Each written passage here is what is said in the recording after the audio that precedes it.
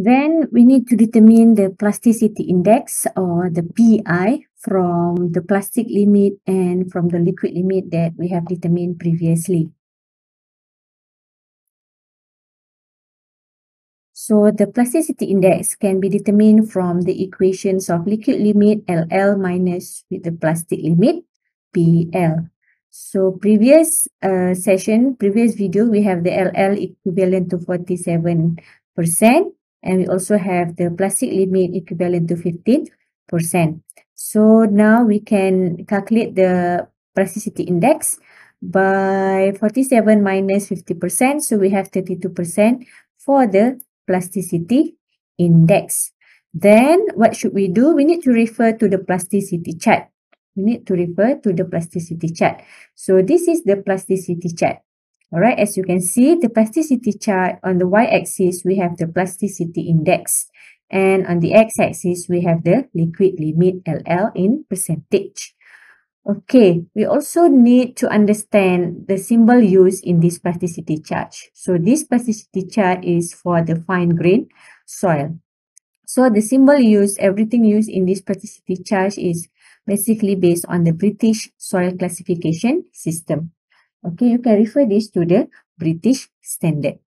So you can see here we have the uh, primary letter that will uh, indicate what type of soil. So for the M, the capital letter M indicate it is a silt soil, S-I-L-T, and C is for the clay soil, C-L-A-Y. Alright, so we also have the secondary letter, which is L, I, H, V, and E.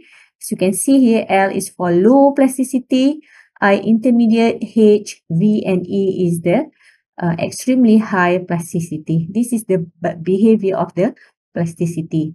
And then you can see here the A line, all right, the red line of the A line. So this is the divisions and the division of the uh, silt and clay. All right. Uh, above the A line here is for the clay soil region. And below the A line here is for the regions of M, which is the silt types of soil. All right, so this is how we use the plasticity chart. Right, so we need to know the proper sample uh, sample is actually located in, in which uh, region. Okay, so again, we refer to the plasticity chart with the plasticity index 32% and liquid limit 47%. So referring to the plasticity chart, we need to plot the value of LL 47% and PI 32%. Alright, so PI 32%. Alright, so uh, from the y-axis, okay, so it's around here 32%.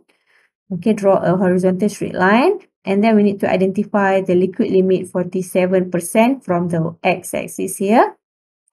So this is the 47% vertically up. And then you can see an intersection point between these two lines. All right.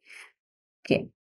So we need to identify the locations of point X, whether it's above A line or it's below A line. So this is the A line. So obviously the X point here, the intersection point here is located above A line.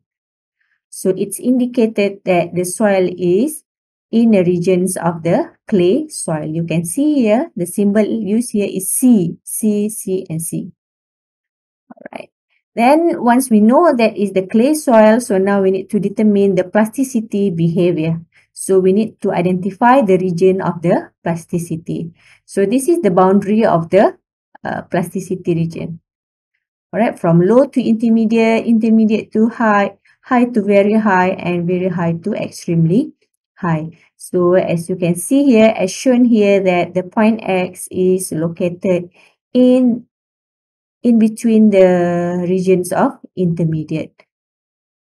Alright, so it shows that the point X is in the regions of intermediate or plasticity. So how to classify the soil once we know the locations of the point X. So you can refer to the classifications of fine grain soil here. All right, so this is how we classify the soil. This is the list.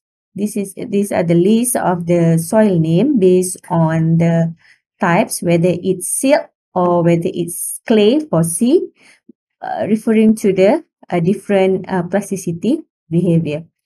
So knowing our sample is uh, within the uh, intermediate region, so this is the symbol CI is a clay of intermediate plasticity.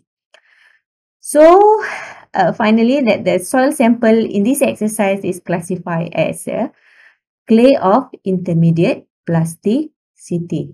As you can see here that the clay in a capital letter. It must be in a capital letter to indicate that the clay is the main or the dominant size of particle in this soil sample and then followed by the uh, plasticity behavior. So this is how we classify the fine soil.